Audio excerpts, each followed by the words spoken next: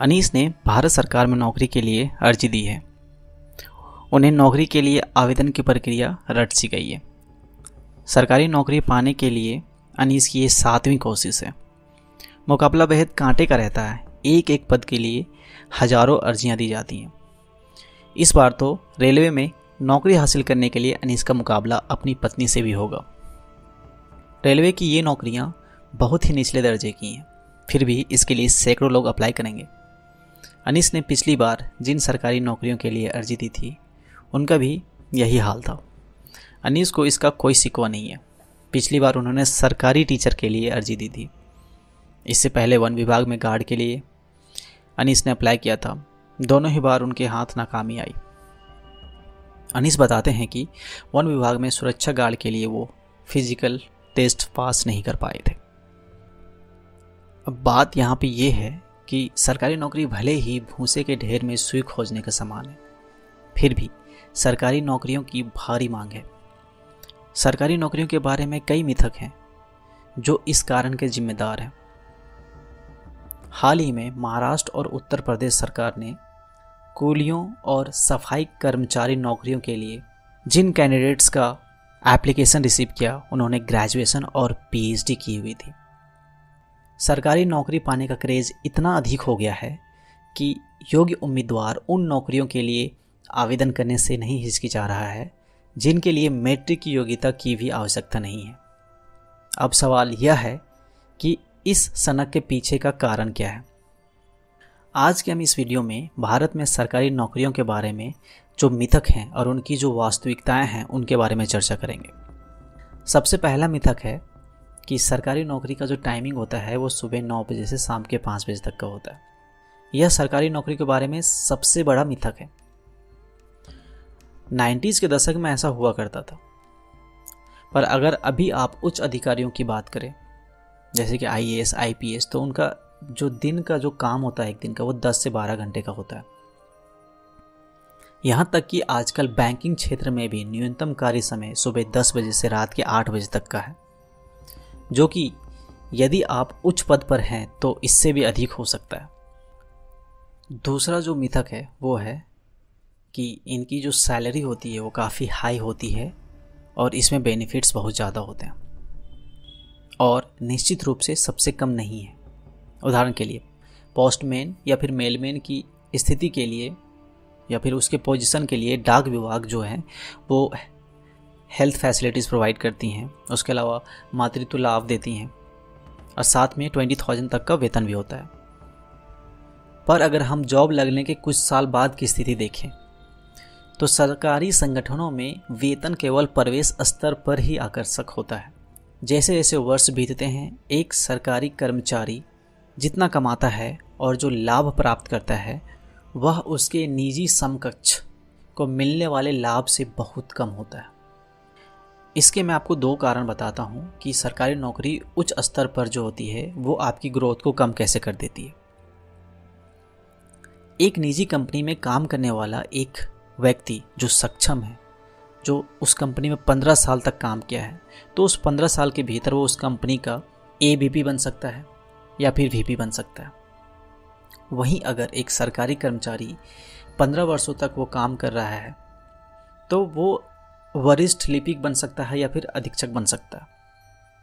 अगर वो बहुत योग्य है, जब वो हर एग्ज़ाम क्लियर करते जाएगा, तब उसकी ग्रोथ होती जाती है, वरना वो जिस पोजीशन पे ज्वाइन करता है सरकारी नौकरी, वो उसी पोजीशन पे आजीवन रह जाता है। जो एक निजी संगठन में एक कर्मचारी की कमाई का सिर्फ़ एक तिहाई कमाता है। इसलिए जो सरकारी नौकरी आज आकर्षक वेतन दे रही है, वो अगले 10 से 15 सालों में एक देनदारी बन जाती है। सक्षम कर्मचारी निराश हो जाते हैं जब उनकी योग्यता को मान्यता नहीं दी जाती है और विधिवत पुरस्कृत नहीं किया जाता है।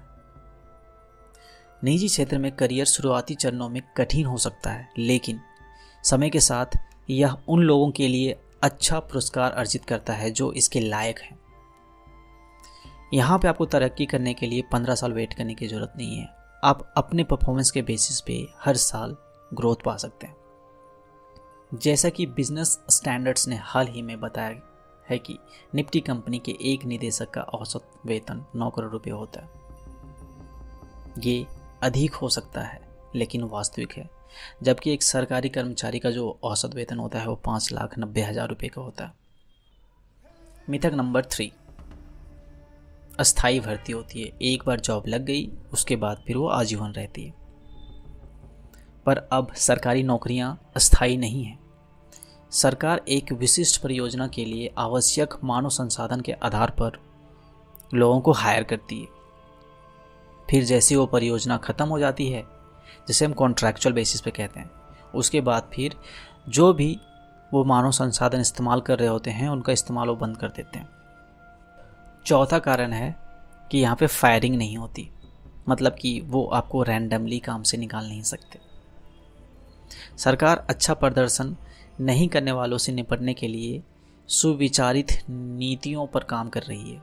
उन्होंने गैर कलाकारों को मतलब कि जिन्होंने जो अच्छा परफॉर्मेंस नहीं करते, उनके उनके लिए दरवाजे बंद करना शुरू कर दिए।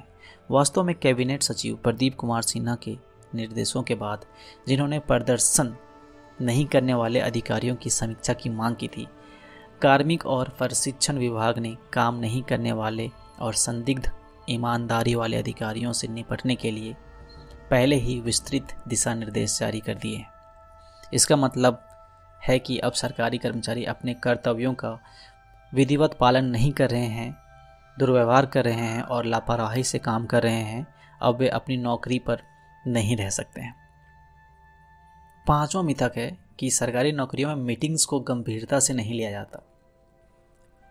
यह सरकारी नौकरियों के बारे में आम मिथकों में से एक है कि कोई गंभीर बैठक नहीं होती सरकारी नौकरी में।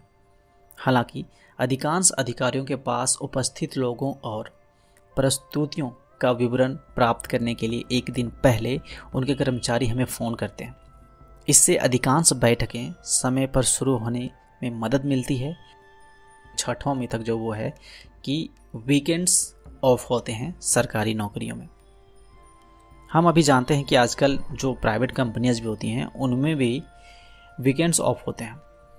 लेकिन सरकारी नौकरियों के साथ चीज़ें समान नहीं हैं। सरकार में कई अधिकारी और निर्वाचित प्रतिनिधि शुक्रवार को रात आठ बजे, शनिवार को सुबह नौ बजे और रविवार को शाम चार बजे मीटिंग्स करते हैं। इसके अलावा अगर आप एक आईएएस ऑफिसर की बात करें तो जब वो सप्ताह में ग्रामीणों से बातचीत करने के लिए जाते हैं तो उस दौर में उनको पता चलता है कि आज जो है वो रामनवमी है। लोग सेलिब्रेट कर रहे हैं और वो काम करने के लिए गए हुए हैं। सरकारी नौकरी के बारे में एक और मिथक यह है कि आपकी राय तब तक मायने नहीं रखती जब तक आप अनुभवी नहीं हो जाते और आपके बाल सफ़ेद नहीं हो जाते। मतलब कि आप पे वर्कलोड नहीं होगा। सिर्फ़ उन्हीं से ही राय मांगी जाएगी जो पुराने हो गए हैं।